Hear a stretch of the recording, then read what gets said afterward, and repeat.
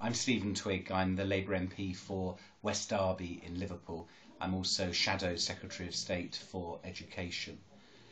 There can be nothing worse for parents than to lose their child, and the death of Oliver King affected the family but affected everyone here in Liverpool. The Oliver King Foundation is campaigning to raise awareness and to bring changes in our schools and in our local services. I think it's so important that awareness is raised and that we make the necessary changes to save lives.